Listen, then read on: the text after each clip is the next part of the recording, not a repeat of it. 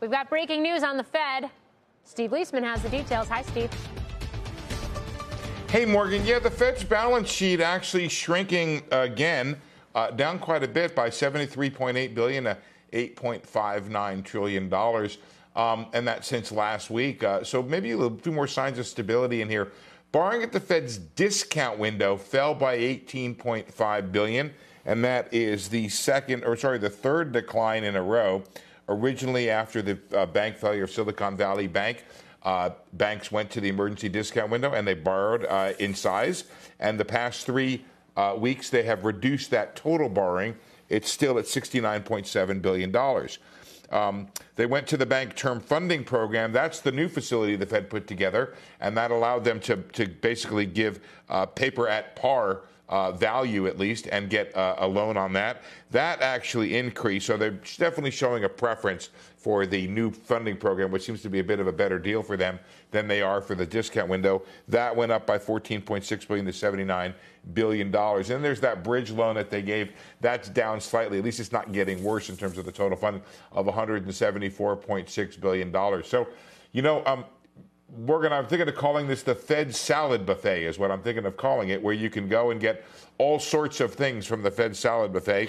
and they're they're taking they like they like the bank term funding program. They're taking that. Meanwhile, the Fed is kind of winnowing down the size of the buffet in general because remember quantitative tightening is still going on and so the Fed's total number of treasuries went down by about 50 billion dollars week to week. So that's where we're at. There's still some level of stress out there, more than there was before the failure of Silicon Valley Bank, but it's certainly not as high as it was in the immediate weeks after it. All right, I like salad buffet better than Fed's uh, H41 report. I'm still uh, working on a name there, but that's what I got for yeah, now. Yeah, and I, I, tasked you with that uh, with that responsibility last week, so I so I appreciate the fact that you came loaded for this. I, am just curious: is this in terms of these different offerings that you have from the Fed? Is this could you call this a, a real-time case study in, in terms of what what works for the sector if we do see any more fragility uh, emerge as the Fed does continue its tightening path?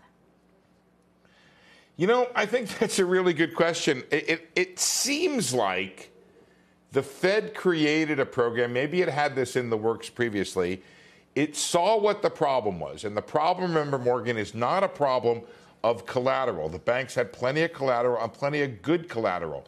That's all a sort of post Dodd Frank thing of having high capital liquidity ratios, plenty of stuff. It was just had the wrong marks on it because they were out a little bit too far relative to the liquidity that was maybe needed because people got nervous about their deposits in the wake of SVB.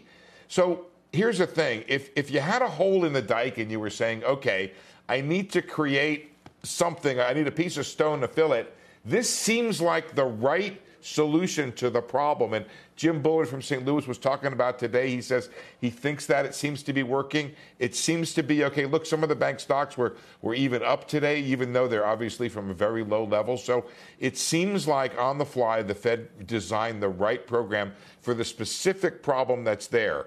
And they still have the discount window. They needed this new program that said, if you have, if your mark is 80, come to me and I'll fund it at 100 um, and there won't be any loss for anywhere in the system here, um, and you'll pay an interest rate on it. Okay. Steve Liesman, thank you for bringing us that breaking news on the H41 report, aka the Fed's salad buffet. Have a good weekend.